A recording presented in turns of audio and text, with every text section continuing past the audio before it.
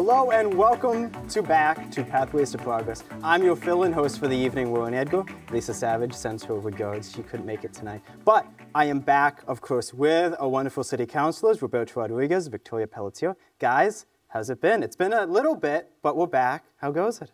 Yeah, it feels like a short break from the last show. But um, in the world of council, um, it, it feels like it, we're kind of like at a pivot point after maybe like a quiet period and about to take on a lot of work. Uh, but it's going well. Excited to be back here and um, really glad to see Tori once again. Yeah, it's um our last meeting was really short too. It was like was it an hour? It was like maybe 45 minutes. It was really quick and so that I think was maybe the last like short meeting that we're going to have because now we're getting into the budget and now we're getting to like very very dense long meetings. So it was nice to have like a quick 45 minute one, a couple agenda items, and now, yeah, we're certainly going to get back into the swing of things in, in spring. Yeah, no, I mean, you guys, before the show, we're talking about you've got a lot coming up. And actually, for anyone wanting to stream the city council meetings, you can actually stream them. PMCWatch.com, they're on channel 5. You can watch them all in their entirety, so you can see every moment. If, you, if, if you're not sick of them yet, you can watch even more of them. No, no one would ever be sick of the two of you. Uh, well, but, you know, you guys. but you know, you guys were talking about there's a lot going on. So what can the people of Portland expect is happening in, a, in the city council? Yeah, so like in the like very immediate future and Monday evening, we're gonna have a workshop where um, we're gonna we're giving uh, guidance to the city manager of on the budget of what tax increase um, we feel is appropriate. So you know that's given on a percentage. Um, and you know you, you're considering a wide range, right? Like if you look into inflation, you can think of like upwards of like seven, eight percent increases to match what's happened with inflation. And then when you think about you know uh, sustainability and what how it affects people's finances and you know how it trickles down to the cost of living, you know you want to also not be you know thoughtless about it. So we'll see what range we all land on. Um, to me, you know, the, the guidance of the tax increase is one thing, but you know what's included in the budget is what's important, right? So we've I, we've already spoken of what our goals are as a council, right? So we want to make sure that we're addressing housing, that public service or health services, public health services for homeless folks, um, and climate change are like the top priorities that we've identified. So when I look at the budget, and if we have to consider like cuts or, or, or, or, you know like reductions in spending, you know we need to look at things and programs that are associated that are advancing those specific goals. And then everything else really we need to have a discussion about because that tax increase needs to be, you know, we can't you know, we can't go bankrupt in the city. We can't kick people out or, or force people out because the cost of living is, is uncontrollable. But at the same time, we have a, a, responsibility to provide services. So again, what's included in that budget is what's important to me, and that's going to be a big discussion uh, on Monday night. I, that's, I think that's the biggest thing. There's a lot more going on, but maybe Tori wants to talk about the budget piece. Well, yeah, the budget part is hard. This is our second time now doing it, so it's a little bit um, more familiar than it was last year. But I think the hard part is it, it's really a balancing act because nobody wants their property taxes to go up, and then rent. I'm a renter. Nobody wants their rent to go, to subsequently go up. Um, but we also want to make sure that we're aligning ourselves with our goals. And I always thought it was interesting that we do our goal setting prior to the budget because we'll do our goal setting, we're getting really excited, here's all the stuff we want to do, and then come time for the budget conversation, it's a little bit like, okay, so let's let's revisit what we can actually do and what yeah. we can afford. Um, but yeah, I want to make sure, like like Roberto said, that we're staying in line with our goals of housing, with our goals of climate, with our goals of racial equity, um, and with our goals of social services, and ensuring that we are you know, providing as many resources for Portland as we can. So it's like definitely a balancing act, and I really encourage everyone to come to those meetings and even the workshop. Um, public comment is not taken at workshops, but it's still a great way for us to be able to ask questions in like a very informal format. Um, and it's a process, and I think it's really important for people to follow along so that when there is time for public comment, that they're prepared to share with us what they think. Yeah, and to, to, to, to the point about taxes, you know, as you said, a lot of people, they were concerned about, you know, is my property tax going to go yeah. up? You know, how much am I paying? W one question Portlanders might be asking is, well, what would my tax dollars be going to? What are these new programs that you guys are hoping to, uh, to get into this new budget? So there's a few things that we are like obligated to include in this budget that passed on referendum last November. So there are some costs associated with implementing the Clean Elections um, Act and there are also some costs associated with the rental um, uh, ordinance that passed. Um, so those things we already know have to be part of it. Um, I think that outside of that, we, we really just have, um, you know, an increased demand on the uh, health, public health services department. So we know that last year there was a huge increase in spending there. We anticipate that there'll be a, an equal demand there. There are vacancies in many departments, so there is still, um, you know, new new assessments of like how much staffing is needed. And I think there'll be some requests from departments to increase capacity. So there'll be some requests to have more staffing, I believe, in permitting and licensing department. That's one area that we feel um, is lacking, you know, in, in, terms of what we can do to facilitate new development, right, of housing. And if the process of getting permitting and license is kind of stopping the, the floodgate, you know, allowing capacity there or building capacity there should help. So that's just one, one thought of what we might be looking at. Um, there's also going to be, I understand, a conversation um, about the Barron Center. You know, the Barron Center is a um, uh, skilled nursing facility that's run by the city of Portland. It is almost unheard of at this day and age of a municipality that runs a facility like that. That's a really antiquated system. So it's, it's not to say that we shouldn't be doing it, but it, the reason that municipalities don't do it is because it's super expensive it's it's a it's a difficult or, or uh, operation to run, you know, with, especially in the healthcare environment today. Um, and so we're going to have a discussion about the structure of that organization of that department, and you know, how does it impact our our uh, budget, and certainly how does it advance our goals. Um, that's a really actually we can go. I don't want to get too deep into the weeds of that, but you know, a couple of weeks ago I got to tour um, the Maine Med emergency department after to learn more about their challenges that they're facing because of the lack of um, uh, skilled nursing beds and short stay beds in facilities um, throughout the region and in Maine. So the hospital is unable to discharge patients out of there into these facilities. That is where they really are more, the, the, the care that they need is really where they're going to best be able to get it. Um, so these patients often end up staying in the hallway at Maine Med or just taking up rooms that are not, again, you know, the best or more conducive to their health. So um, the way that the uh, Barron Center interacts with that, I think, is a big conversation that affects the entirety of the system um, that we're trying to influence. So again, uh, I think that's going to be a big piece of the conversation as well. And yeah, I think those are the bigger highlights. But there, I guess to another part of I'm talking a lot, huh? another part. Last episode it was Victoria. Episode, now it's attention. It's now it's Roberta. That's right. I won't. I won't, I won't say this much money. and um, you know, to another part to answer your your question about what's going to be added, I I don't think that this is a year where we're like really adding a lot of like you know new programming. Um, I don't think that that's where even if we did, there isn't the enough capacity or staff to run things very well. So to yeah. add new programming without necessarily assuring that things are going to run smoothly is, is irresponsible and, and not good spending. So um, as, as we look at the budget, I wouldn't, I want people to know that this is a year of us being really thoughtful about, and the, the council started to have a conversation about what are core services in this city? And what is it that we absolutely need and are legally obligated to provide? Plus, what is it you know, legacy spending is what I refer to it. Things that we've done because we've always done them, but they're not necessarily advancing our goals of improving, you know, conditions for homeless people, advancing climate change policies, or creating housing opportunities. So those legacy programs are the ones that I think we need to have a discussion about. You know, do we want to continue to spend here, and is that what taxpayers are expecting their tax increases to um, advance, or do they want, do they agree on the goals that the council has stated? Um, again, a, a, deep conversation that the council should embrace, should embrace on Monday. Do you have anything to add on to that? You I mean, just, that was great. I don't know that I have a lot. To I was just nodding along. Yeah, I, I, you know, the, the only thing that I'll say is I think we all have, this is the time where I think on the council it's really interesting because I think we all are trying to move in the same direction of advancing our goals, but we have different ways of getting there. And so this will be, I think, an interesting conversation about seeing where the balancing act is. And then also reminding me, because we were, you know, we talk about this all the time, but yeah, the city is significantly understaffed. I think like at our, at the, state of the city. There was something like 200, over 200 vacancies. I'm not sure how many there are now, but that's really challenging as well because we're, I feel like we're working a little bit at a deficit. We have all of these things that we're really excited to implement, but if we don't have staff to really, you know, advance a lot of the things that we want to do, um, it's going to be challenging for us. So you know, I'm I'm excited to see where we land um, and making sure that we're keeping in mind the goals that that we have and, and the goals that we really solidified in December and doing what we can to move those forward. Yeah, no, that's awesome. And then, you know, on top of that, city manager search is coming to a head. Yeah. That's, you guys are holding uh, a, a session to decide, or you have resumes, I hear, that you're looking at.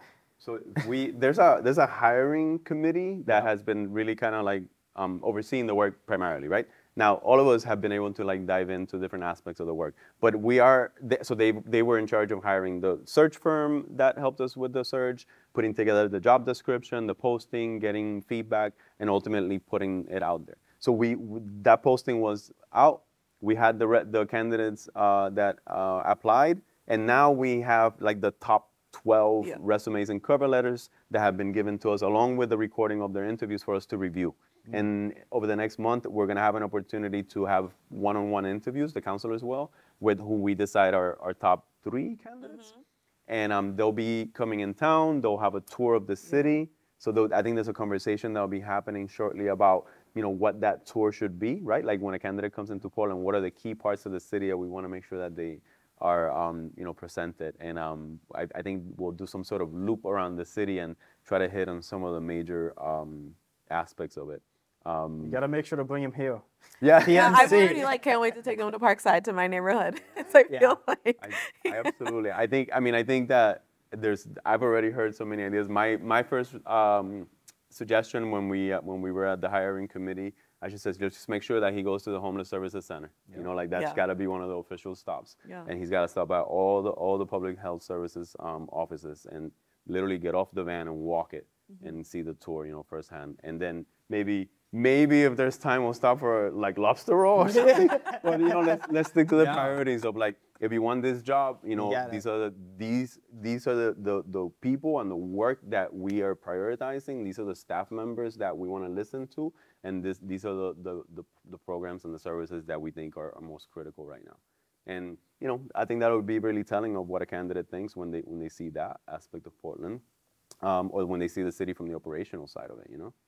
Um, so anyway, so that's really exciting. I've, Yeah. I'm in, just as a side note, in, in you know, we're also hiring a police chief. Um, the superintendent search is happening parallel to this. We're not necessarily involved in that, but clearly we're partners, so we, we, we have a say in that. Um, and on my personal life, um, my- the organization that I work, that I've been doing interim executive director work, cultivating community, we, we just hired a new director, so I'll be finally stepping down from there. So, anyways, there are all these hires Yeah. that are happening, you know, all over the place, and I'm I've been really spending a lot of time thinking, and we, other than that, we've also had staff hires. So, Yeah. just been thinking really strategically about what that candidate assessment process looks like, what the interview process looks like, what questions should be asked, and how to assess a candidate, and um, and also how to assess an organization as they're pivoting in, in a transition, right? Like I've been in an interim role at our cultivating community. Now we're pivoting into a long term. We've had an interim city manager. and Now we're pivoting into a long term commitment. And you know we have an interim superintendent, interim police. So this entire city is really in this transitional period, and and we we I believe should be looking towards stability over the few- over the next several years. And so these these hires, these decisions that we're making, these budgets, we all need to think of them as this big organization, this big operational thing that's happening. And and how all these moving pieces can we can we line them up so we get key people to advance the goals that we've all ran on these on you know on, on these agendas to, to advance, right? The key issues of equity, racial equity, social equity, and, and justice, and put the right people in the key positions to advance them. You know, I, I, I think it's a, I, we're, I'm im- immensely lucky to be here in this position at this time, and I think it, the city is is primed for like to pivot into a new direction, and and doesn't necessarily to be a different direction, but certainly something new. So Victoria, I want to ask you, from what I just heard from him, new police chief. Mm-hmm. You know, and we know, you know the Black Lives Matter movement. We've mm-hmm. seen, you know, police brutality and Yeah. and and you know how leadership and and and, and in, in it and training, you know, that doesn't address, you know, racial justice. What's what would you want to see in a police chief mm. to to head up Portland?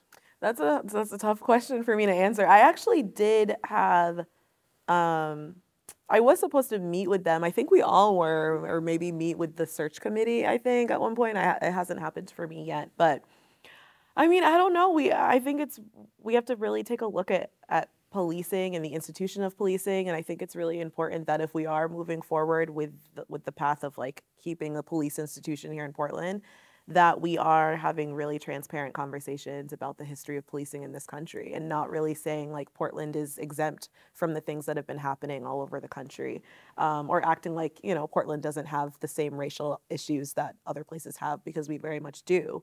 And so, you know, I, I, I hope that if we are going to move forward with keeping this institution within the city, that whoever is hired is open to having those conversations and really understanding the role and the power dynamic that they have and the history of the institution and how much damage has continued to be done to marginalized communities from this institution um, and coming into it ready and open to, to have that discussion. You know, you know what would be really as i'm listening to you and i'm picturing like literally having an interview with the candidates and like sliding over the the press release from the Portland Police Department Yeah. from last month and just asking them to read it and react. And Right. just sit there and see Right. do they get that exceptionalism and that that messaging and do they get how hurtful that is and how ignorant that is? Yeah. And that to me that's like the most basic kind of like Oh, yeah. bar that I need them to be at. Yeah, And, and it speaks like- exactly to what Tori was saying. Yeah, I think we, we we do that a lot here in Portland of being like we're not like other cities. And in in certain ways we are different than other cities, but with racial issues it's an it's an insult to say that we're not like that, especially, you know, given some of our more recent events. And so I I, I really think that I I whoever is going to be hired is just has to be willing to have that conversation and has to be willing to look at how policing has been done and think about ways that they could do it differently. So we'll, well, see. no, because you know it's it's it's it's one thing about messaging. It's another thing. You need someone to come in and and enact the, the right policies that are fair, that are just, that are equitable, and Mm-hmm. also you know you know create training and, and, and policies that will that will educate police officers and will train them accordingly to the issues that that black, black and brown and Hispanic people have been facing. Mm-hmm. Yeah, no, I think that's you know. But you you mentioned something about racial equity. City of Portland is going down that road, as are most organizations and governments today. Talk a little bit about you know what the uh, what the plan is there. So there's a new uh, hire, a new position that was filled of a racial equity and justice director. Um, and that's a position that was funded through last year's budget and is a result of one of the recommendations from the Racial Equity Steering Committee that was in place after uh, they were in place from 2020 through 2021. So their final report had that recommendation. So um, that was that. Like I said, that was uh, put through the budget last year. We there was a bit of like uncertainty at one point about when the hire was actually going to take place um, even after it had been funded. But um, it kind of got advanced, somewhat um, fast tracked a couple of months ago, and a new person was hired and announced, and it, there was a press release sent out by the city a couple weeks ago. So we have them coming on, and it, I think it's going to be exciting to see how that department kind of shapes itself and the role that they play in assisting both the, the city manager and staff and the council in you know addressing or assessing you know equitable outcomes of our decision making. Right? I think that for me, at the end of the day, like your outcomes is what determines whether you are, you know, very much like uh, like Ibram Kendi says, right? Like if your outcomes are equitable or inequitable, then you have a your racist policies, right? If you can measure the outcomes and not find equitable or not find inequities, then you can start to say that you're an anti-racist organization. But your outcomes is what measures. So in this city, you know, you can just walk out the door and you can tell that there's inequity, right? So we can tell that the policies and the, and the ordinances in the city are by no means anti-racist because we're creating inequities. And again, inequities that could be measured through you know racial distinguishing um, factors and, and demographics. So I, I, to me, what that department is going to help us do is advance policies that have outcomes that don't produce inequities. Yeah, what I'm really hopeful for, um, well, not hopeful for because it's it's done. So at our at our inauguration, I um, sponsored a resolution to create a racial equity committee that will support this department and will support um, this new hire. So now that this person has been hired, and I'm not sure like how long it will take for us to solidify a committee of counselors that will support that work. But I'm really excited for that, and I think that that's that's another exciting part of us being on the council of just getting to experience that. This is the city's first ever, um, what I think, justice, diversity, equity, and inclusion manager that they have ever had, And so I, I'm really looking forward to this individual and this department being able to advance a lot of the work that was done by the Racial Equity Steering Committee in 2020. Um, and also just being able to say, you know, we're in a city that is rapidly diversifying. We're in a city that speaks seven major languages. I think it's really important for people to feel comfortable that there is someone at City Hall that is advancing racial equity and is advancing the interests of marginalized individuals here. So I, I think it's really cool, and I look forward to meeting this new person, um, welcoming them to Maine and to Portland, and just really creating um, a good working relationship with them so that we can support their, their work. Yeah, no. I mean, you know, in, and uh, you, you, you've said it in the past, you know, we're a, we're a small town that became a big town and we have all these big town problems, you know. And that, of course, is going to weigh into the people that we hire to, to create policies to advise us. Superintendent, you know, you on the school board. What would you like to see in a, in a possible superintendent or candidate at least? Yeah, I mean, I think like besides like uh, you know policy driven stuff i think number one you want somebody that's committed to be here for a long period of time like you you don't want somebody to use this as a career stepping stone um, because transition at the superintendent or transition in the leadership position of any organization is really detrimental to advancing big strategic goals, right? So if we really care about continuing to advance equity in public schools, you know, we want to have a leader that's committed to being here long term. So that that's the one of the key factors. Um, as far as like their their their ideology, so to speak, or what they what they come with, um, I think today, the, the, the, vast majority of candidates that are going to be applying for superintendent positions understand that advancing equity, is particularly if you apply to, to a place like Portland, is, is part of what, what the ask is. So for us, um, I think we just need to identify those that agree on what equity even means right? Like Portland Public Schools actually has a policy that defines equity for the purposes of decision making for the school board. And that, that policy took over a year to develop and it included input from everyone in the community um, outside of the schools too, again, so that we can have a guiding, a guiding document. So when you're looking at candidates and you look at your policy that defines equity, you should be able to identify whether that candidate agrees with your view of it as, uh, as, you, as you fit it into your strategic plan. Um, to me, you know, as far as you mentioned the size of the district, the proportion of the district, this is the largest school district in the state of Maine. It is the most diverse. There are over 60 languages spoken in the homes of our students. So, you know, ELL students um, are a huge portion of our, of our schools um, enrollment. And so I think that we need a, a, a superintendent that comes with a background that understands that environment, right? A, a, school that maybe comes from a school district that also has a strong diversity in language spoken. And also, what is their philosophy into, you know, second language education? You know, we, you know, I'm, I'm a second language speaker, right? I remember in my, in my generation, it was like you used to be like, you know, speaking Spanish you used to be like embarrassed of it like you used to be pressured to like learn english and it like you were it's like that colonizer mentality where you're like you know forget your, your heritage. And now we want to support the development of english language acquisition while embracing your native language because your home language and culture is literally what we've been claiming all along is brings the value to our community. So here we are telling you like forget that and learn english. No so we, as we think of acculturation and assimilation and how our students in, interact with our school district, you know, we need a superintendent that understands how that plays and that philosophy fills into our system. Um, to me, those are key things. And, you know, I, I'll, I'll, say that those are the things that I found Superintendent Xavier Botana was fucking amazing at. You know, like he, he gets it, you know. He's a, let me just say this, you know, like Homeboy, he was a Peter Pan immigrant. You know what that is? Those are kids that from Cuba whose parents were just sending them out of the country yeah. during the Castro regime because they, they needed them out of there. So he and his little brother went over to Spain and they were there on their own until their parents eventually left Cuba and then they reunited in the States, eventually grew up you know, as an immigrant family, non-English, non-English speakers, eventually coming up. And look at him, man. He ended up being the superintendent of a school district in the largest you know, school district in the state of Maine yeah. and being incredibly successful. You know, like that story, that content, that experience, I'd love to get a candidate and, you know, through the door that, that brings that with them. And then ask him, how do you see equity in education? Mm. How do you see policy? And have that, I just love the opportunity to have a conversation with someone like that. You know? I mean, you know, as you said, Superintendent Botana, he was Cuban. You know, he understood that struggle. He understood coming from from from from only knowing one language and the struggles of trying to learn English, and and the system in place.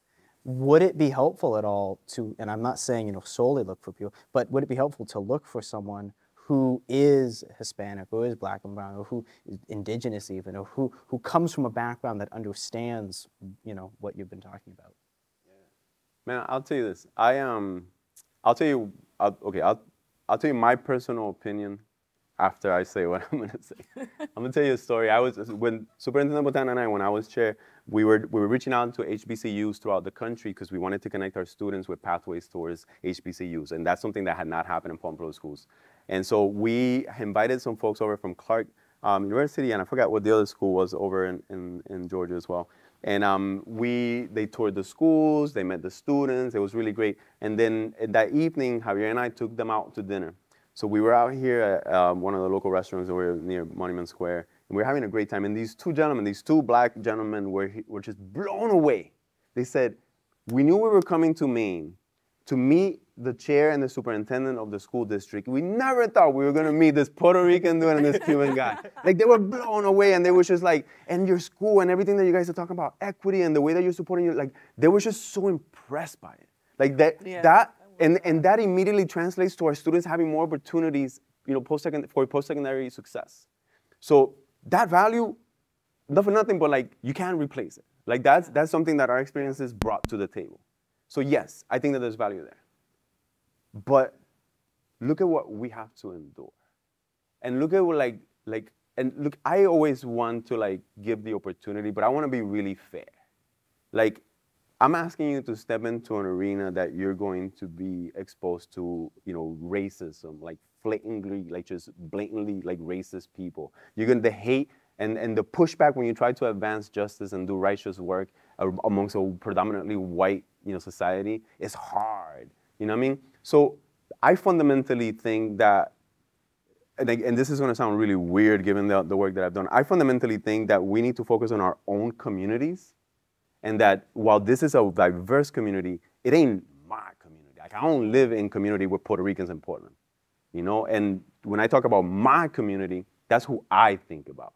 Now, when I talk about the community in which I inhibit and that I have to like my kids goes to school in and mm-hmm. that I work and that I employ people at, you know, then I think more broadly. And when I think about my public service, I think very broadly.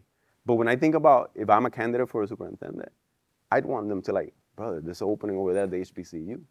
Papi, there's an opening at the Universidad de Puerto Rico. Like, go out there, you know? So that's the complexity with which I approach it. And that's, mm-hmm. that's the way I'm not going to answer your question. All right. Well, I think, well, I, I, we'd love to keep talking, but sadly, we are almost out of time. Guys, thank you so much for coming on. Next, next month, we hope to have Lisa back. Okay, well, you were great. You were so, yeah. saying you're the new fill-in if she can't make it. So. Um, oh, so done. no, but no, guys, thank you again, you know, for sharing your, your thoughts and, and all this, informing the people of Portland, you know, what's going on in our city council. You know, people love transparency, and having you guys on like this and talking about that, I think, is really awesome. Um, do you guys ever get people coming up and going, "Hey, I saw you on"? Uh, pathways. I love your. Uh... I mean, I did get an email that's from someone that said I saw you and I didn't vote for you because I didn't like you, but I watched your episode and I like you and keep doing what you're Look doing. At that. So I'm just saying this show is changing people's opinions. that's, that's what we love to hear here. One vote at a time. Yeah. No. Yeah. No. And of course, guys, as I said, you know, you can stream city council meetings on PMC, pmcwatch.com, and you can stream all these episodes, all these shows on pmcwatch.com go back to the back catalog, check out the older episodes, see how we've progressed over the years. And the podcast, and the podcast Spotify and Apple Podcasts. Of course, we're on those too. But guys, thank you so much for being on. Thank and you. guys, once again, of course, you can watch uh, all the episodes of Pathways to Progress, including our shows in our back catalog at pmcwatch.com. You can, of course, stream on pmcwatch.com, watch on Channel 5. You can listen, Spotify, Apple Podcasts, Pathways to Progress. But guys, uh, thank you so much for watching, and we'll see you next time. Thanks.